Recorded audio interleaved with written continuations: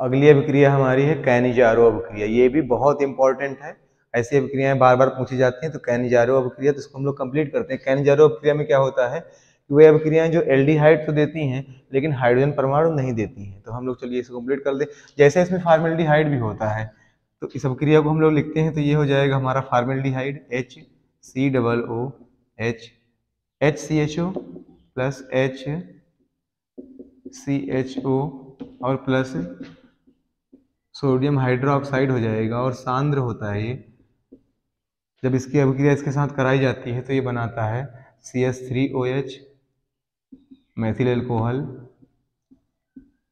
methyl alcohol और साथ में बनाता है सोडियम सोडियम फार्मेट इसका नाम हो जाता है सोडियम फार्मेट